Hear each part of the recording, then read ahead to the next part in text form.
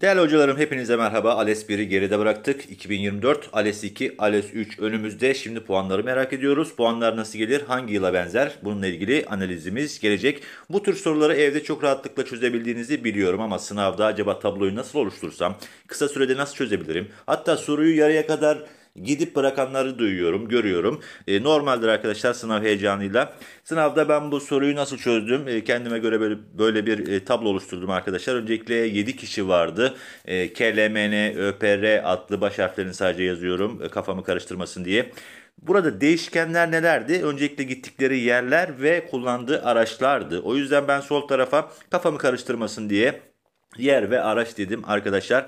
Kesin ibareleri önce tabloya yazdım buraya bakın. Ömer trenle gitmiştir diyordu. Şurada e, Ömer'in trenle gittiğini görüyorsunuz arkadaşlar. Pelin Göbekli Tepe'ye gitmişti. Bu kesindi. Oraya kısaca göbek yazdım.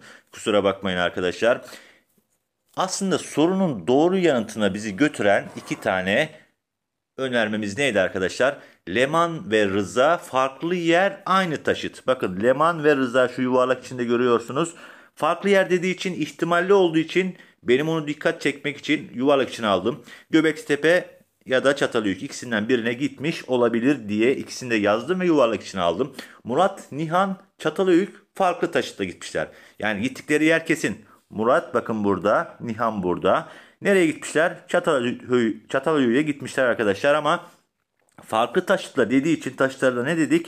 Otobüs, tren dedik ve yuvarlak için aldık. Onun kesin olmadığını sınavda kafamı karıştırmasın diye. Şimdi geldik efendim aslında e, orada en önemli şey de sayılardı. Ne diyordu? Altta bakın yazdım. Göbekli Tepe'ye gidenler Çatalhöyük'e gidenlerden daha fazladır diyordu. Toplam 7 kişi varsa bu 4-3 olabilir, 5-2 olabilir arkadaşlar. E, 6-1 olabilir. Tabloya göre değişebilir. Otobüste gidenler trenden daha fazladır diyordu. Bunları nota aldık. Şimdi bakıyoruz. Üst tarafa yerlere bakıyoruz. Çatalhöyük kaç tane kesin var arkadaşlar? Bakın bir bu, iki bu. İhtimalden de bize bir tane gelecek mi bakın. Yani L Göbeklitepe'ye gittiyse diğeri Çatalhöyük'e gitmiştir. Tam tersi de olabilir. Yani Çatalhöyük orada bir tane daha var.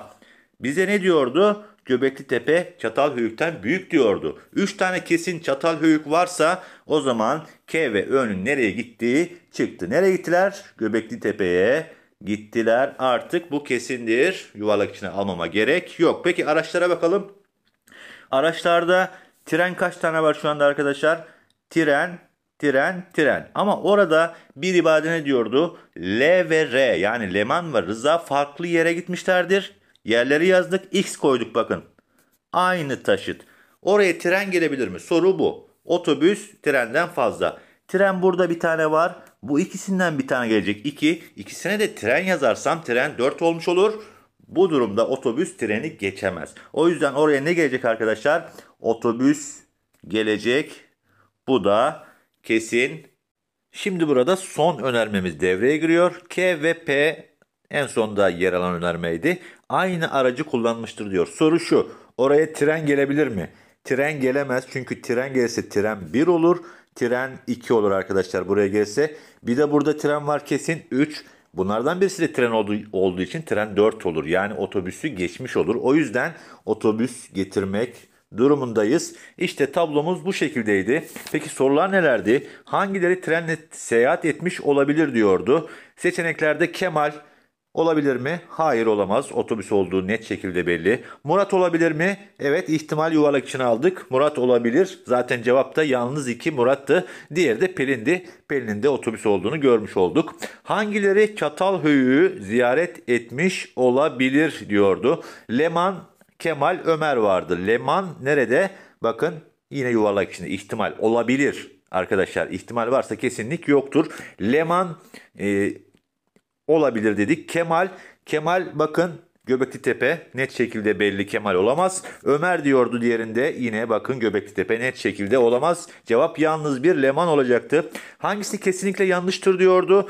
Doğru seçenek trenle seyahat eden 3 kişi vardır diyordu. Ama burada saydığımızda ne oldu? Otobüs 1, otobüs 2, otobüs 3, otobüs 4. Bunlardan birisi de otobüs 5'e 2 oldu arkadaşlar. Dolayısıyla 3 kişi olamaz. Cevap Edirne olacaktı. Son soruda kişilerin ziyaret ettikleri yerlerin ve kullandıkları taşıtların tam olarak belirlenebilmesi için hangilerinin bilinmesi yeterlidir diyordu.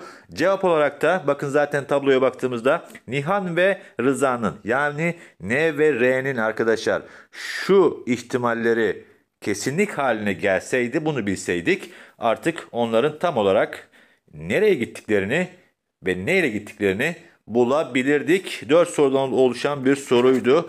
E, bence kolay bir soru değildi diye düşünüyorum. Zaman alıcıydı. İnşallah doğru yapmışsınızdır. Bir sonraki mantık sorusuna bakacağız. Takipte kalın arkadaşlar.